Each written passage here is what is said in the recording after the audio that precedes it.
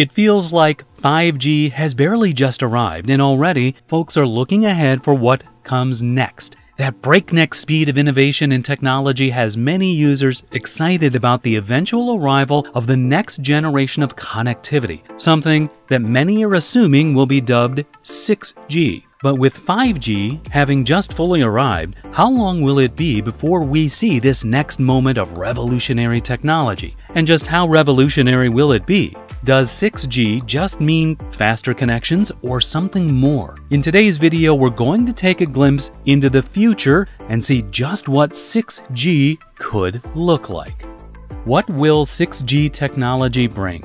If you ask any average person about the differences between 3G, 4G, and 5G connectivity, they will most likely say that the higher the number, the faster the connection speeds. This means you can send messages faster, download content faster, get directions faster, and so on. But with each new generation of connectivity, there have been improvements well beyond the speed at which data is transferred. Engineers have developed more and more innovative ways for your devices to interact with the internet and other devices around them using these improved connective generations. Things like augmented reality, airdrop, and nearby file sharing, as well as improved Bluetooth connections developed alongside these generational improvements. So, yes, 6G will definitely be faster than 5G, but it could bring a whole lot more with it, too.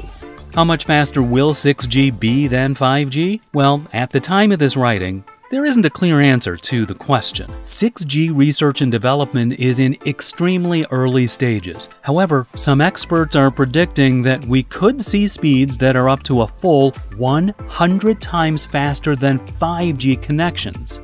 Dr. Mayur Srivanam Aghatam from the University of Sydney claims 6G could deliver mind boggling speeds of 1 terabyte per second or 8,000 gigabits per second. That level of speed is tough to imagine, but here's a quick tangible example for you. With current 5G technology, you can download a film from Netflix in a few seconds, assuming you have a solid connection. But with that level of data transfer on 6G networks, you can download 142 hours of content from Netflix in just one second. That level of speed is what will help bring about some of the truly revolutionary changes to our world with 6G. While it's exciting to consider downloading an entire series of television in an instant, the broader possibilities of 6G are even more enticing. A 6G network will be so efficient that your devices will likely be able to fully interact with your physical environment. Those nifty science fiction looking augmented reality displays we've seen in movies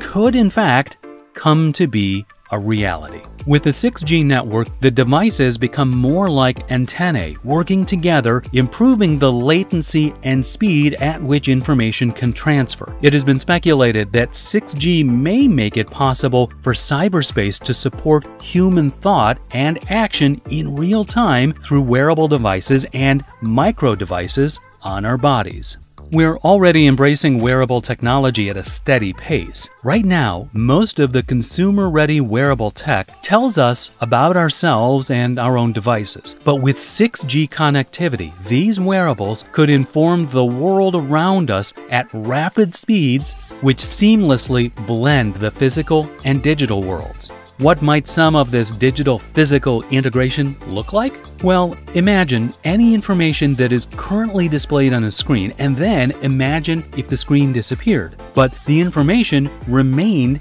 in an interactable virtual space. Things like menus, vehicle displays, biometric information, travel reports, and so on could all exist in an interactive augmented reality space on a deeply personal level. So, how long do we have to wait to pull up a holo table and spin around virtual design plans like Iron Man? When will 6G arrive? Wireless generations historically have had about a 10 year shelf life before the new generation has come to dethrone them. So, if we assume the same for the development and transition from 5G to 6G, we may see some 6G technology arriving by the end of the decade, say 2029. That being said, Erik Ekudden, Chief Technology Officer of a leading information and communication technology firm, Ericsson, was quoted saying, It's a little too early to talk about 6G during the MWC 2019 Shanghai in July of 2019. Ekudden speculated that it will be at least a decade before we see any sort of development of 6G technology. This does fall in line with what Huawei founder Ren Zhengfei told CNBC in September of 2019 that 6G was at least 10 years away. So even if we see the beginnings of deployment in 2029 or so, it'll likely be the early 2030s before we see some of the larger consumer applications of this next generation connectivity. So, who are the major players working to change our physical world with this new tech? What is working on 6G technology?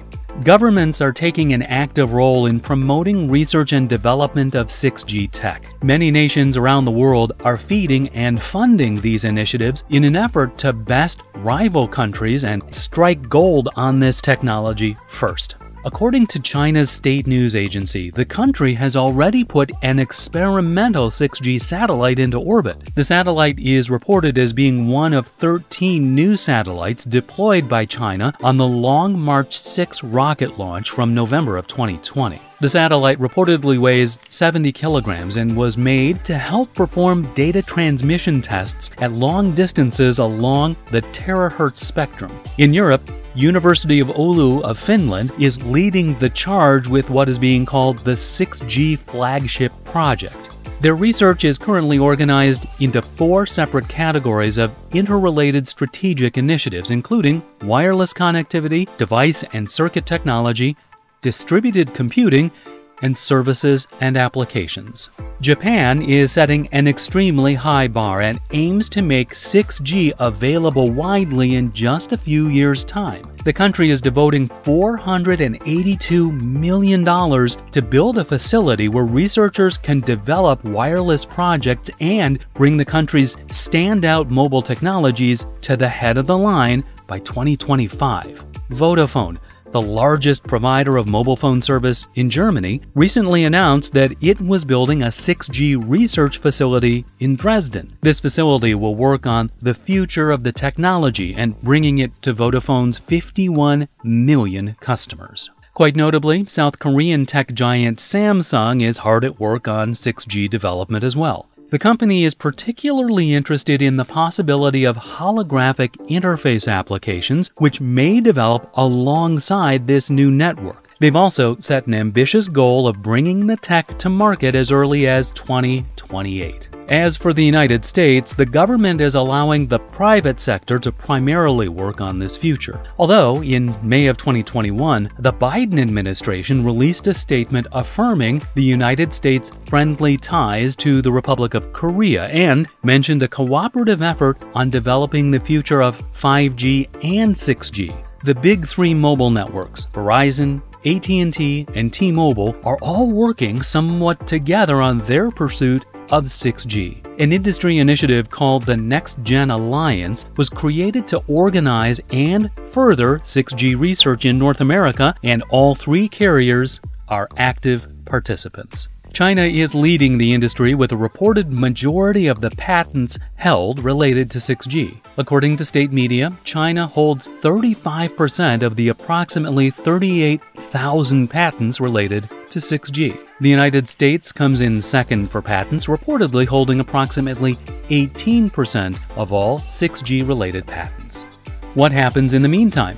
While we all eagerly await the next generation of virtual meetings and interactive augmented reality, 5G will continue to improve. Engineers are hard at work on what is being referred to as 5G Advanced. Think of this as similar to the development of 4G LTE prior to 5G an organization known as the 3GPP, composed of about 700 companies, including Apple, Google, and Huawei convened in July of 2021 to talk about the focus of 5G Advanced. These companies are committed to improving upon the existing infrastructure of 5G, though they may first have to agree on where to start. Researchers indicated that they currently had 50 areas of potential focus for advanced, but would like to narrow it down to around 20. Tingfang Ji, Senior Director of Engineering at Qualcomm and one of the lead 5G researchers at the company, said 5G Advanced gives us a second chance to look at the fundamental trade offs inside 5G. Both he and Qualcomm proposed integrating machine learning into 5G and for the networks to better handle